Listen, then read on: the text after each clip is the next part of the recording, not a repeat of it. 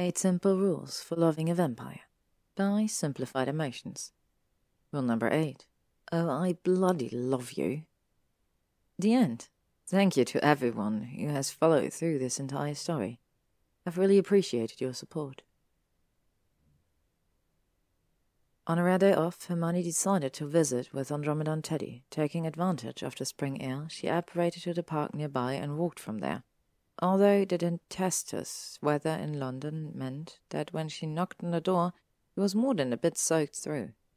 Hello, Andromeda, Hermione said, shaking from the cold. She reached into her bag and handed Andromeda a care package from Harry, who was out of England on an Auror mission and couldn't come along. The older woman rolled her eyes fondly before accepting Teddy's undoubtedly loud gift and setting it on the kitchen counter. She picked up her wand and aimed it at Hermione's head, likely to dry it, but Hermione shook her head. It's going to get frizzy. She took out her own wand and cast a drying charm on her clothes. It'll dry on its own. My mother would have been frightened at the amount of hair you have, Andromeda tutted. Likely would have Nymphadora as well. She had Teddy's messy curls when she was born. Hermione smiled, patting her wet hair. I remember Tonks smacking Professor Lupin on the arm when he asked if her hair was brown or pink when she was born. Andromeda chuckled. It was brown, to her chagrin. She gestured Hermione to the kitchen. I'll make us some tea and biscuits, and before you ask, no, you are not allowed to help. Hermione grinned. I would love some looked around for the usually turquoise haired child. Usually came hurtling in whenever she and Harry visited. Where's Teddy?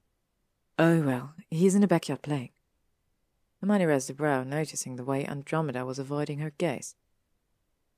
He's actually playing with Draco, she said slowly. Hermione's heart stuttered, and she had to battle against desire to hide in the pantry should the white blonde head pop into the kitchen. They're right outside. Draco was showing him how to conjure bats. Oh, God, no. Oh. She patted her hair again, feeling it rise in a rush of anxiety. Well, that's. She narrowed her eyes. Andromeda! She helped her tone conveyed the proper accusation. Andromeda only replied in a hum, and it was then that Hermione noticed that there was three cups of tea set on the table. Andromeda! Hermione said again, balking at the woman while she sent haphazard glances down the hall to the back door. He obviously could never trust a pureblood with anything. He was about to tell Andromeda how she really could be leaving, but the devious woman took Hermione by the shoulders and told her that it was only polite to stay for tea now that it was made. He ushered Hermione to the backyard with a much stronger grip than Hermione would have ever expected. Or maybe Hermione felt it more because her muscles, her bones, her every nerve felt like they were being broken apart as panic rose inside her. Stepping outside, her heart lurched at the sight of Draco, who was indeed showing Teddy how to conjure a flock of yellow birds. He was noticeably without a wand, and she couldn't help but still marvel at the way he used wandless magic. Andromeda made a coughing noise, and Draco turned towards them, grey eyes widening as his gaze landed on Hermione. He obviously hadn't expected to run into her here, of all places. They stared at each other for a moment. Hermione's own defensive walls were crumbling before her eyes, and she had to wonder if his were too.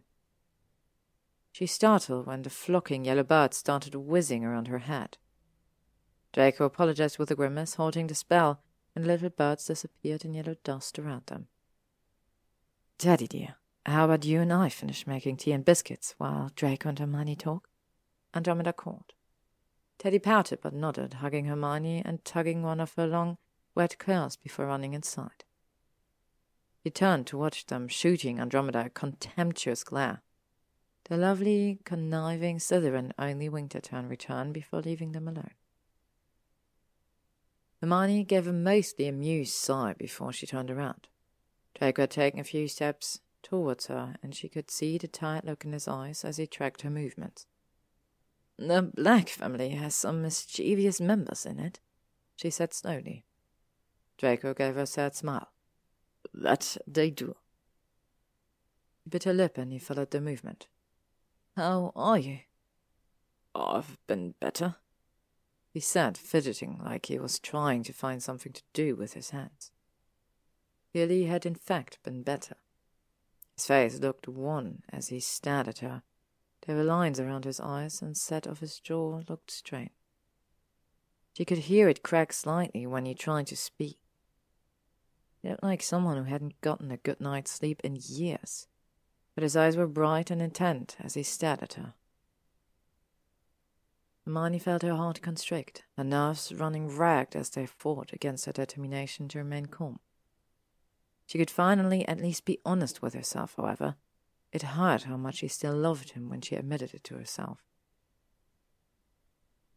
She stepped towards him at the same time he took a step forward, her hand raising awkwardly, and without her permission at the same time he reached a hand towards her. Hermione's cheeks burned as she withdrew, and Draco's came to rest at his side, his knuckles clenched so hard they were white. Um. She took a breath. There was so much to say, so much left unsaid between them, and Hermione had never been good at being unprepared. Although she relented that there was no way of preparing her for still having the sort of ruinous feelings that she had for her ex vampire lover whom she hadn't even had sex with yet. The thought of having sex with that vampire in front of her brought with it what she was sure was a deeper shade of blush to her cheeks. Draco studied her for a moment before stepping forward again. He took one of her wet cards, wrapping it around one finger. Do you forget you're a witch and can use your wand? He asked, his lips tilting in a ghost of a smirk. Her heart panged at the nostalgic words. You know it gets frizzy if I use a drying charm. He considered her for a moment. It's large and marvellous and entirely you. And he really did marvel at it as he studied her, his mouth slightly open and silver eyes penetrating. Breath hit, and he must have misunderstood her reaction, because he was about to let go of the curl and started to step back. He didn't think when she caught his arm and stepped towards him. They were almost chest to chest now his fingers still entwined in her curl, although it was his entire hand now in her hair, because her curl seemed to want to take him captive. Sorry, I'm. N- no, it's. She thought it was maybe subconscious on his part, the way he slid his hand into her hair, stroking it like it was the most precious thing he'd ever touched. So, she said, unable to help herself, what kind of one did you buy? His lips pressed together in a firm line. I didn't. Hermione's eyes widened. What? Why? Oh, I don't deserve one, he said simply. It can't be. He shook his head, his face set in grim determination. And then she realized something.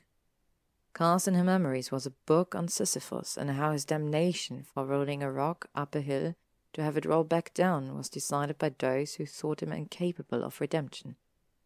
His damnation, his redemption, it was now up to Draco to define what it meant for him. She'd forgive him always, but it was not up to Hermione if he forgave himself. She nodded, hard unspooling, and gave him a wan smile. It's your choice, she agreed. And maybe it was the way he was staring down at her, ravenous and devastating, but she tilted her head up, her hand touching his caved in stomach, sliding up his chest until it rested on his heart. He tilted his head down, and Hermione was sure they were about to kiss when a voice shouted, Auntie Hermione, there are fresh biscuits! Hermione startled, stepping back and turning towards Teddy. Andromeda came rushing out, and Hermione had a groan of disappointment before she apologized to them and took Teddy back inside. Hermione couldn't help but laugh at escaped. Fingers on her lips to stifle the deranged howler she wanted to let out. He turned back to Draco, who was looking away to stifle his own chuckle. Are you staying for tea? I don't think I've much of a choice, he replied, his lips, his fangs gleaming in the spot of the setting sun peeking through the clouds. She laughed, and it was the most freeing one she had in years. Let's get you inside, you poor pale vampire. He scowled. I resent that. She hummed, and they walked in together. As he held the door open for her, the warmth of his hand on her waist as he guided her through made her shiver. You could feel her heart attempting to pound out of her chest, banging against her chest cavity. Her throat went dry when she looked at the tilt of his lips, how they rebelled against his attempt at control, and she couldn't help the way she returned it. They sat awkwardly at the table, pretending a picture of ease for young Teddy did not yet know the conflicts of adults. Draco told Teddy he could visit the manor any time and they could fly over the large grounds once he was allowed a broom. Hermione couldn't stop the smile that pulled at her lips again when she saw Teddy change his hair to white blonde, a more playful reflection of a young child that grew up in a much more restrained world. She drank from the small teacup to hide the full-out grin that was spreading across her face. Draco noticed it because he looked up at her and gave her a wide, toothy grin. He looked away, feeling shy and exposed, and instead met the amused eyes of the most annoying woman she'd ever met. God, was this how people felt when she marched herself into their business? At twenty-five years old, Hermione decided that she should consider a personality change.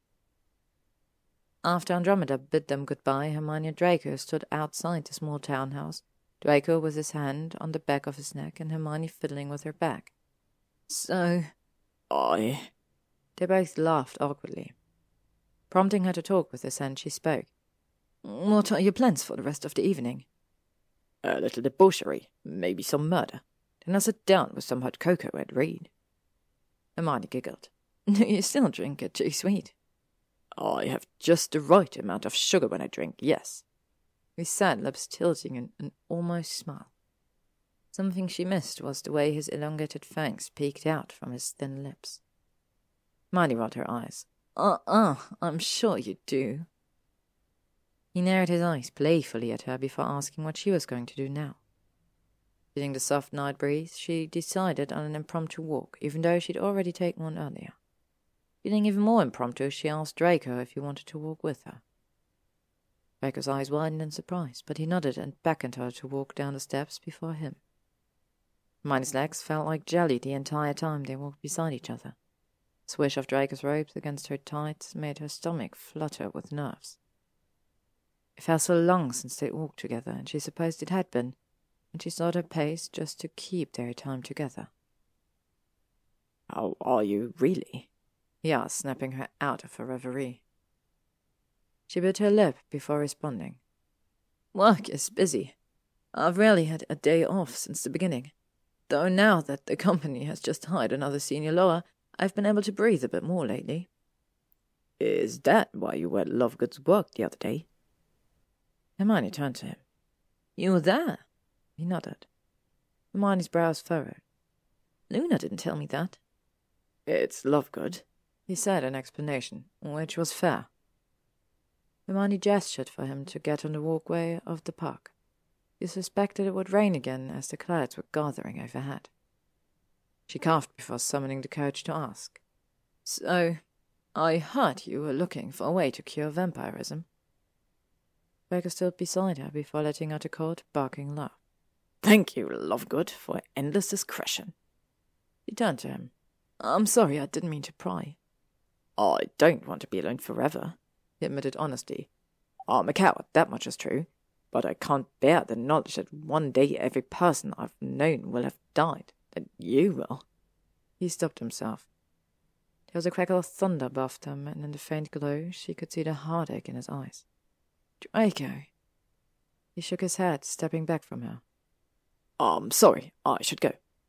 He turned away, but once again she felt her body move quicker than her brain did, and she grabbed a hold of his robes. Please don't go. Hermione, he said, his voice hoarse, and the sound of her name in his voice made her legs shake. I, he cursed, don't let me waste your time. You don't get to decide how I'm using my time, she said stubbornly. He turned towards her, anger in his eyes as he gripped both of her shoulders. I've told you before, he said, his jaw clenched. I don't have a lot of control left in me. Then stop having control, she whispered, looking him clear in the eye. He was on her in a flash, backing her up against a tree and kissing her hard, hands everywhere, causing every nerve in her body to light up like a reflection of storming sky. She kissed him back with the same crushing need inside her. She gripped a hold of his collar and pulled him down to her at the same time he picked her up. Instinctively wrapped her legs around his waist, pressing them closer together. And oh, it was pouring now, and they were soaked, and Hermione's hands were slipping in Draco's hair, and her own hair must have looked a mess, but she didn't care. She kissed him and kissed him. She pressed her lips to his until she couldn't breathe. The need for air finally broke them apart, and she opened her eyes to see him already staring at her, the devastating adoration he leveled her with as if it were a weapon made her want to cry. After a moment, he set her down.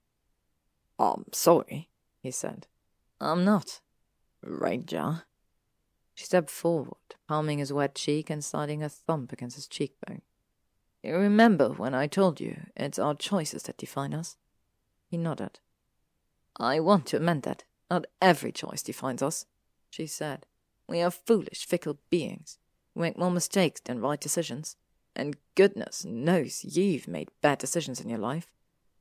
Looked wrecked at her words, but nodded in defeat, hanging his head. She took his chin, forcing her to look at him. But you cannot let the bad ones burden you for the rest of your life when you've also made good ones. You're not made up of all of your bad decisions, Draco Malfoy. He stared at her for several seconds, his expression hard, and then he cracked. Forgive me, he said, brokenly, his breath heaving, voice hoarse. I'm so sorry for all of it, Hogwarts the Manor, for leaving you because I was too cowardly to let me love you. I should never have. I never deserved you. He was shaking and tried flinching away from her, but she steadied him with a hand on his arm. I forgive you, she said, her voice clear. Hermione, I don't deserve. You have my forgiveness. She felt tears burn in her eyes and let them join the rain on her cheeks. You get a decision now to forgive yourself, free of the burdens of anyone else. She took a step back.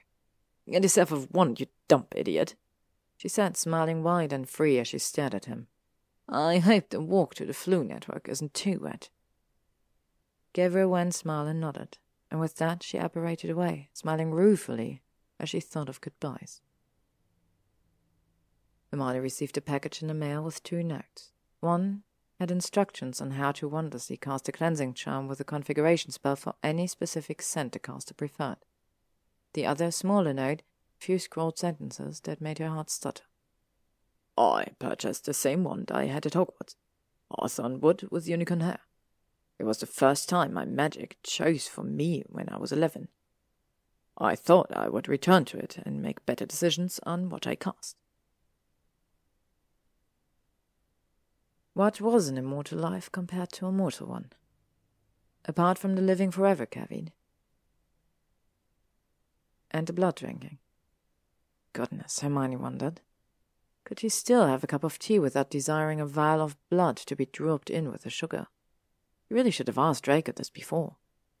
She'd missed lying in the sun for long hours, that was to be sure, but it's not like she couldn't be in it at all. She thought of all the books she could read. Should she have all the time in the world? That was certainly positive if she reached a decision that was. How would vampire blood taste should she bite into Draco? Surely it must be good, although she wondered how different it was in comparison to drinking human blood. It was only a few days later that Hermione said to herself that stubbornness was not always the best avenue to direct her life. She took the Floo powder and called out Malfoy Manor. Hermione wasn't surprised when the Floo connection let her in as she stepped through didn't bother with spelling the suit of her clothes as she almost ravaged the space with her eyes, looking for a shock of blonde hair with almost desperate hope. Draco stuck his head out, eyes widening as he saw her. Granger? Hello, she said awkwardly. She didn't have a plan for what she wanted to say, and that was weird, almost maddening at the intensity that propelled her intentions to come here waned as she was caught in the onslaught of his gaze. She had to hold the mantle to keep her knees from buckling. Not that I'm complaining, but what are you doing here? he asked. I need to know, she said. His eyebrows furrowed. Need to know what? He walked right up to him until his back was to the side of a bookshelf. Do you love me, still? He exhaled a breath. Do you honestly need to ask to know? No, she said, but I want us to communicate better with each other.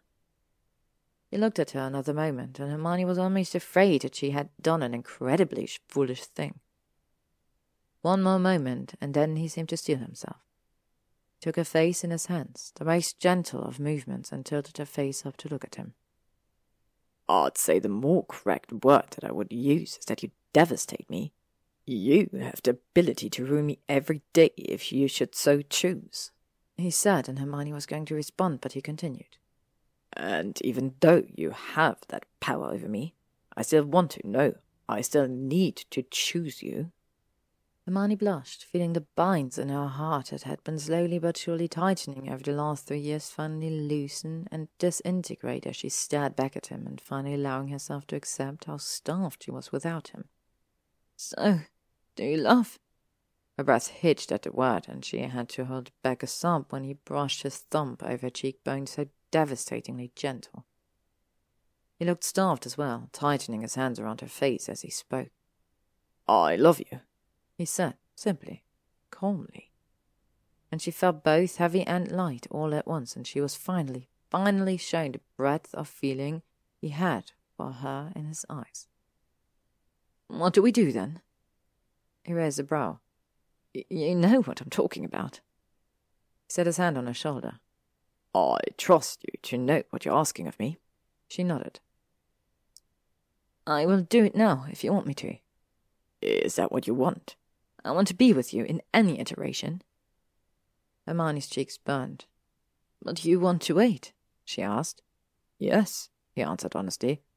God, no, I love you, but I've just started to research a cure for vampirism, and while I want to be with you, I don't want to rob you of the life of the other people you love. Hermione's eyes widened. Draco. She reached for him, pressing their foreheads together. I love you, whether it be me young or old, or immortal or unchanged. I'm yours if you choose me every day. I will, he said raggedly. Always. She cupped his cheek, meeting those silver eyes. It was a fool to think he was only capable of ruin. I will always choose you too.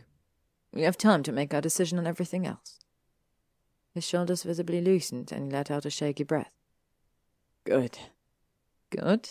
She asked, her body shaking the same way his was against hers, but he seemed strong enough to still master laugh as he stared down at her, with a look so wistful she felt any of the remaining control she had crumble into pieces, meeting the stubbornness he had also shed on the floor between them, below them now instead of in front. If we choose each other every day, then everything else doesn't matter. She smiled. He bent down to kiss her, but she stopped him, remembering she wanted to say one more thing. Nodded his head at her to continue, and she hesitated. I will tell you now that you are not allowed to play martyr in this relationship. Do not ever put me on a pedestal of virtue. I am stubborn, horribly limited in my ability to look at other people's perspectives. I think I'm always right, and I leave half full cups of tea everywhere. I'm not perfect, and I demand you treat me as such. Understood. You are imperfect and do not want to finish your tea. What a terrible Englishwoman you are. Pulled her closer. You are mine, my imperfect witch, he said, his smile ruinous. She smiled tremendously. And that was that. There wasn't anything elegant or gentle in the way they suddenly crashed together. Crashed was the apt word as Draco walked Hermione into the bookshelf, God's damned high bookshelf with Hogwarts a history digging into the middle of his spine. He realized this endearing stupid fact by this stupid man she loved when he told her later that night, in which he apparently knew would make Hermione jump him and both revenge and unbridled desperate lust. He tasted so hot it hurt. They ripped each other's clothes off, Buttons flew, bells clacked soundlessly compared to the beating of pounding hearts. Hermione's bra somehow landed on a shelf hook, and Draco lifted Hermione bodily, crushing his mouth with hers as he pressed himself to her, her bare breast pebbling in the cold library. There was an inch of space between them. they converging together, years of aching want burning out between them. She kissed him, bruised him, until he would never forget the way her lips touched his, and he returned her assault with soft, gentle kisses. He took in her despair with a gentleness that told her that he was hers, and she felt tears burn behind her eyes and trail down her face. I don't want to cry, Hermione said as Draco reached up and wiped her tears away and kissed across her face. I know, I'm sorry. I'm so sorry. You were a bastard. I was, he agreed. Forgive me. He looked at her, breathing ragged as she brushed her fingers across his face and then fisted his hair. I forgive you. He exhaled, nodding, and then it was like something came over him. He dipped his head to kiss her again, pressing himself more intently against her, his kiss desperate. He was no longer exploring, tentative and as gentle intent as he was before. No, this was a direct assault on her senses in a way that told her that Draco had always been holding back. Not any more. That was just as well. She gripped him back, drinking him in as he gave himself to her, returning her frantic, disparate energy as they moved in reciprocity. It felt like they were fusing together, all of the uneven connections between them connecting like electrical wires, startling as they wove together but achingly smooth as they finally merged. He caressed the soft skin of her thighs as he kissed her. God, Draco Malfoy could kiss her dizzy. No matter how many times their lips met, she thought she could feel something new. This particular kiss was curved and somehow sloppy. Because Draco was shaking and unsure, it made her body thrum with desire from the knowledge that she could make him feel this way. She was not unaffected, of course, as much as he was holding her to him, leaving imprints of rough hands and small nips of his teeth against her slim throat, Hermione was giving back in kind. She wanted to mark him, wanted to possess him in the same way he possessed hers.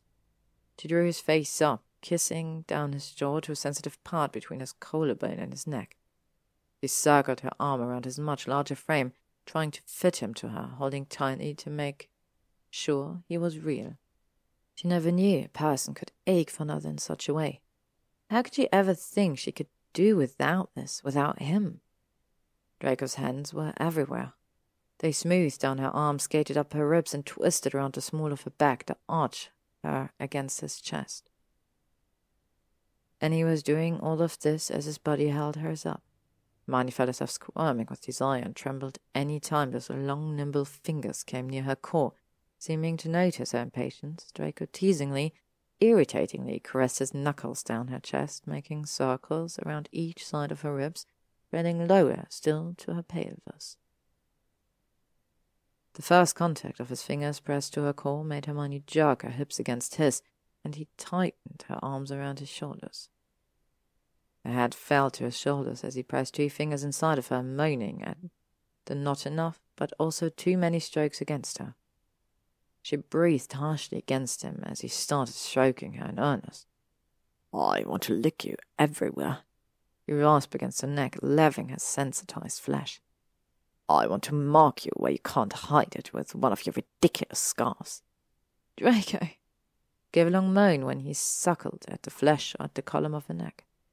She needed him to stop. She needed him to never stop, resulting in cacophony of expletives ranging from funk just there and yes, Draco. His other hand came to tip her chin up to look at him, and she shattered, coming undone beneath his dexterous hand because it was him. Fuck! He sounded tortured as she came down and gently opened her legs wider, thrusting inside her as she was still coming. The pulsing feel of him made her come again, so unexpectedly that they both gave a wrecked gasp. Fuck! he said again, slamming his hand against the shelf in what she assumed was an attempt at control. After a few seconds, he brought his arm around her waist, crushing her into him. Then he took her. Hermione was distantly grateful for the age-old shelves as they rattled on the force of the two of them, and thought to ask Draco later what it would take to tip them over. He brushed her hair back and sunk his teeth into her shoulder, causing Hermione to cry out and tighten her grip. She clung to him as he wrapped his arms around her and sucked her blood. I can't, she said, feeling herself reach the peak again, but also feeling incredibly sensitive that she whined the words out to him almost tilting her hips away from the pressure. His voice was heavy with desire as he pinned her in place and kept moving, bringing his fingers down to caress her. Yes, you can, Hermione. Good girl. He said, and the gentle circle became a hard press against where she was most sensitive, and Hermione screamed. She imploded at the same time as thrust became erratic, white flashing behind her eyes as she spasmed and held onto him for dear life as they fell together, and then they really fell, Draco's knees giving out as he collapsed on the floor, Hermione on top of him. Hermione let out a loud laugh against his chest, and Draco joined her. Thank you for taking the fall, she said as she looked up at him. He huffed, catching his breath. He looked ravished, and Hermione was ecstatic at the thought. You sound so worried about my body being injured. She hummed and kissed his chin. I think I could honestly fall asleep right here. He murmured into her hair, sliding his hands down her back and kneading her spine. She felt treasure. Me too, but I need a shower. He sighed, groaning, as he shifted to sit up, putting Hermione's legs around his hips, and with a grip so strong on her waist she thought that he had no intention of letting her leave. She looked up at him, smiling wickedly. I was going to ask you to join me, but if you prefer to stay here, then. Draco rose to his feet at striking speed, still holding Hermione in his arm. Wimley just restocked the soaps in the bathroom. I will have to inspect them. Oh, really? she asked with a smile. I'll have to use each of them on you to see which tastes better, he said with a severe look. Hermione's face heated. You are not allowed to bite me in the bath. The steam might very well cause me to pass out. He scoffed. Oh, I've been keeping myself away from you for three years. I think I can wait for one more shower. Brushed against the new mark on her shoulder, watching her with a fierce possessiveness. Her breath hitched. I'm sure you can. Now, are you going to put me down? she asked. He responded by pressing her into a wall and kissing her again, much rougher and demanding this time. They didn't make it to the bathroom for a little while longer. They woke up later, clean and sated, and Hermione feeling wonderfully cherished as she slept on top of Draco's chest, his arms encircling her waist. She stared down at him as she trailed small fingers around his sharp features. So, what are the rules for dating a vampire? Hermione asked. He looked at her with a bemused expression. Why would there be any rules? I was thinking that if there are any rules, I wonder how many I've broken, she said. Draco looked up at her. You always have been a rule breaker, he said, his fangs gleaming as he gave her a full smile, private and reserved just for her. I'm sure you'd be expelled. She looked at him affronted, but when her smile widened, she was rendered incapable of anything except for staring at him. He smiled back in a way that was reserved just for him, and she thought that by the way he stared back at her, vulnerable and devastating, Maybe he'd been rendered incapable of anything but her, too. The end. So we are at the end of another Dramione story once again. I really hope you enjoyed it. I really enjoyed reading it. Thank you so much again to Simplified Emotion for giving me the permission to read this wonderful story. And thank you for all of you who followed along through the story. I really hope you enjoyed it. Don't go anywhere because the next Dramione is already in the making and I'm super excited to share it with you.